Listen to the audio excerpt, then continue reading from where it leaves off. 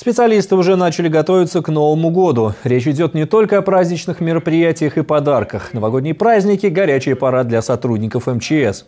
Представители регионального ведомства приняли участие в селекторном совещании, которое организовали в федеральном центре. Специалисты обсудили вопросы, касающиеся безопасного проведения всех праздничных мероприятий. Наибольшее внимание будет уделено проверке мест массовых скоплений людей.